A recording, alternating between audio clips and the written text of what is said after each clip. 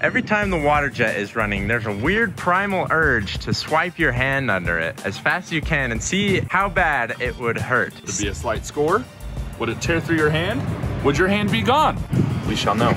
Today we're gonna put these three ballistics gel hands through a series of tests, mainly involving the water jet, but a few others. And then we're gonna x-ray them and we're gonna see what kind of damage is done to these poor guys. I'm quite impressed. There's even skin pattern on these. This poor specimen looks like he had uh, fibromyalgia. Looks like we got a little osteoporosis going on here. Got some mesothelioma on this guy.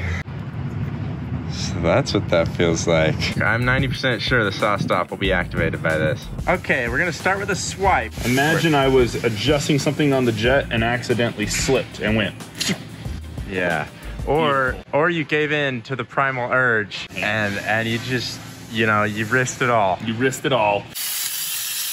Interesting. I wonder how that got out there, but Well, you'd be missing the tip of your finger. The bone would still be there. for the most part, it even took a, a little chunk out of your bone right here. But your flesh would most definitely be either hanging off or gone. Gonzo beans, as I they should get say. a raise. And that was quick. I mean, I just I just swiped that through pretty fast. Yeah.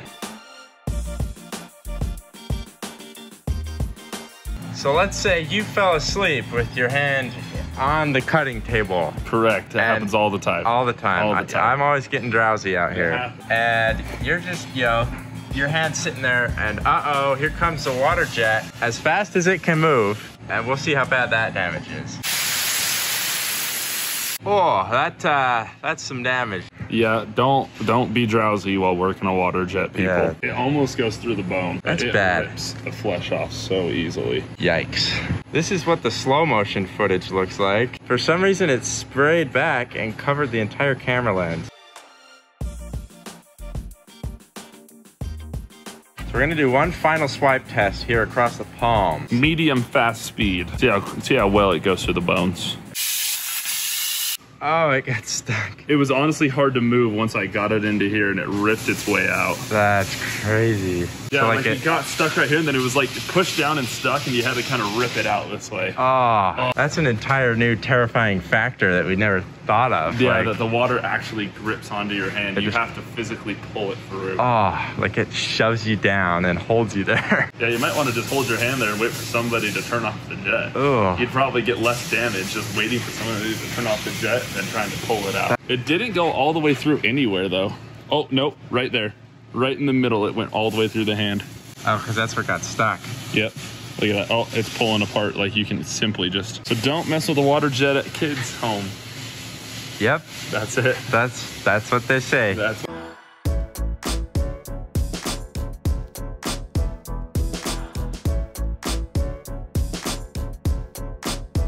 Okay, now we got the clear ones. We're going to pierce right here on the palm. We'll have a nice view of it and we'll see if there's any garnet stuck or what happens. It'll be a great cross section of the hand. Yes.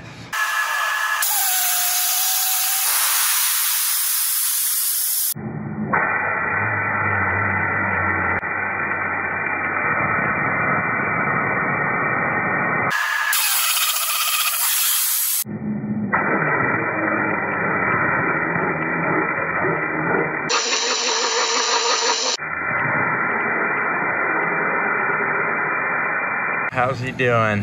Yikes. Well, he's most definitely got a hole in his hand. And right through the backside, right through the bone and everything. You know what they say about people with holes in their hands? They've got bony butts. They sure do. Literally perfect hole right through both of those. Well, uh, put me on the list of people who don't want that to happen to them. Yeah. Y- You know what I'm saying? I know what you're saying.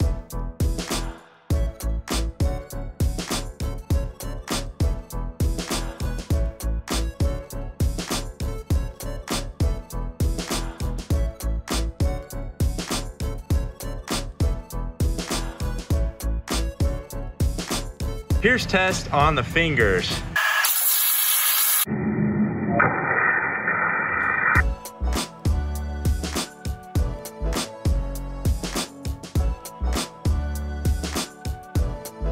Okay, this is the swipe test with no abrasive. 60,000 psi's of water on your fingers.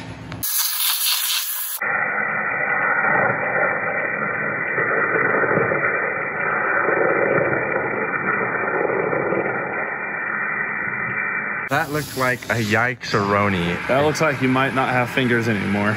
Oh yeah. That Yep. gave you a really nice cut across every single finger. Oh yeah. You definitely have diabetes type two after that. Oh, you just, the old the, the old D glove trick. But the D glove trick will come right off.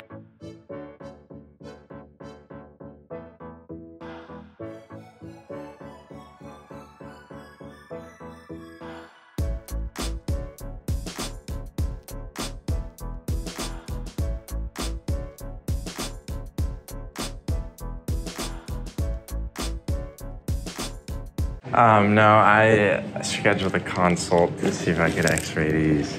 So if you want to wait in that room right there, he'll be right with you. Okay, perfect. While we're waiting, reminder to send us things to our P.O. box. The info's in the description. Hey man, why did the skeleton jump in the washing machine? Because he was drunk. Tough crowd. Are you okay if you're? I mean, your fingers are gonna be in that a little bit. Yeah, I can Photoshop it out. Just kind of hold it like that. Okay. little radiation never hurt nobody. Well, the good news is your bones are intact. A little better. That's interesting.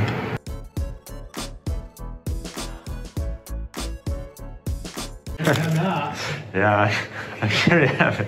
All right, let's say you fall asleep with your hand in the hydraulic press, just the fingers, and somehow you don't hear it or notice it's coming down, and the person operating it also doesn't notice.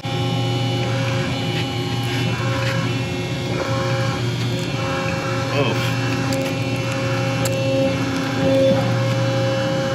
Well, there's some broken bones. Completely flattened.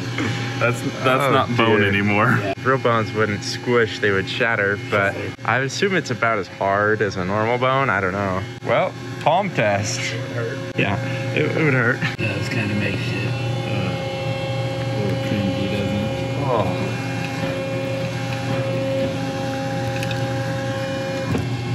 I think that's kind of what your skin would do. yeah. Oh, it's falling off. Uh, so long. Well, uh, That's what we have left. don't do that.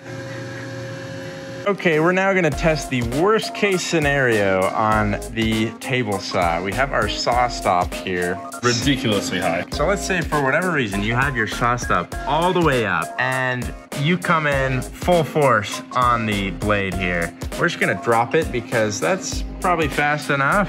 Yeah. And we- see how deep that goes. know? Yeah, and we also don't wanna be anywhere near it. No. We'll see if we can get to bone. We're gonna drop it on the palm like this. For those who don't know, the saw stop uses an explosive to launch a piece of aluminum that's specifically designed to stop these blades. And it's incredibly fast. Ah, scary. One.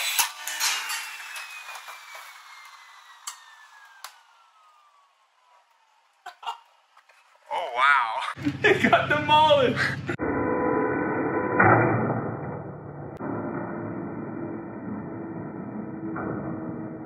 It did stop though, didn't it? It stopped. It did stop. But it wasn't the kind that saves a limb no, if it, you. it did not save a limb. Well, that's terrifying. That is horrible. Oh, there, there's half the head. Oh my gosh. No way. It seriously cut It it directly split it right in two. I thought we had the good saw stop. Oh, at least it's blinking red, showing us that something bad happened. Oh no, there's the brake. It just didn't work. Do you see where his bones are? They're hanging from the metal. That's hilarious. And then these are just, oh, look, even the bones in half. Do not touch a table saw. Let that be a lesson to you kiddos. Just missing the middle finger. So the middle finger just is gone. So there's the table saw, and that is where the middle finger ended up. oh, there's the rest of the finger. Ugh, that's probably 40 feet from the table saw. That's crazy. Yeah. Oh, Oh my, wow. your That hand is. is gone.